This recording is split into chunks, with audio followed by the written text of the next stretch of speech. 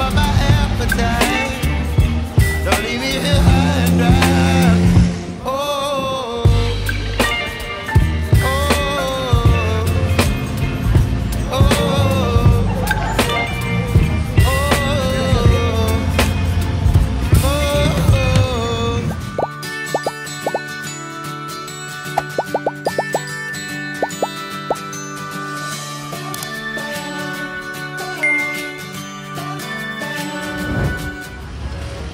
Halo guys, ketemu lagi.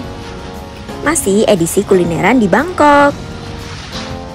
Kali ini kita baru mau ke Chinatown. Ini lokasinya searah banget guys sama Wat Po dan Wat Arun Temple. Jadi dari Wat Arun kita tinggal jalan terus naik kapal turun ke dermaga Chinatown. Untuk jadwal kapalnya setiap 30 menit sekali ya. Ongkos naik kapalnya 12 baht aja per orang. Nyebrangnya deket banget guys, cuma sekitar 10 menitan aja. Kalau mau naik MRT bisa banget guys, nanti turun di stasiun Wat Mangkok. Chinatown ini lokasinya ada di Yowarat Road. Bangunan-bangunan di sekitar Chinatown masih tempo dulu gitu guys, bangunan lama yang estetik gitu.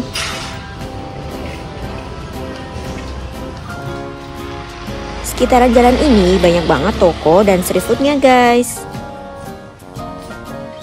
Chinatown ini merupakan pusat perdagangan orang-orang Cina di Thailand. Kalau orang Magelang bilang ini pecinan guys. Kanan kiri banyak pertokoan kayak pasar gitu loh guys. Yang ini jalan utamanya di sekitaran sini banyak banget street foodnya loh. Mulai buka dari jam 6 sore guys, jadi kalau mau ke sini mending agak malaman aja. Waktu itu aku datang masih jam 3 sorean gitu guys, jadi masih agak sepi, street foodnya masih banyak yang belum buka.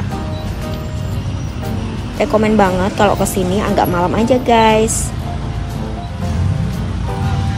Selain street food khas Thailand, di sini juga banyak banget jajanan khas Cina loh guys. Yang mau cari obat herbal, di sini banyak banget yang jual. Sepanjang jalan juga banyak yang jual pernak-pernik khas Cina gitu.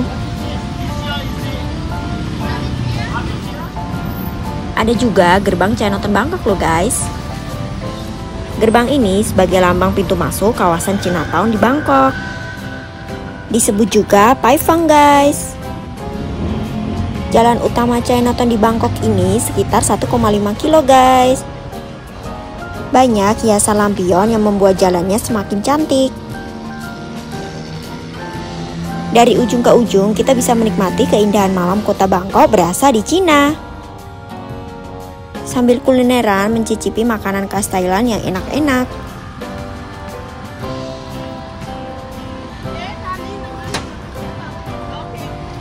Di paling ujung jalan ada juga kelentengnya guys, biasanya masih digunakan untuk sembayang. Ornamen kelentengnya khas Cina banget.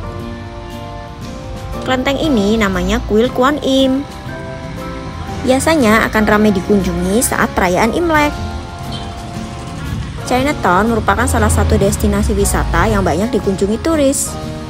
Rekomen banget ya guys, kalau kalian ke Bangkok wajib mampir. Seru juga kan guys keliling Chinatown di Bangkok. Thank you for watching, sampai ketemu di video selanjutnya. Bye-bye.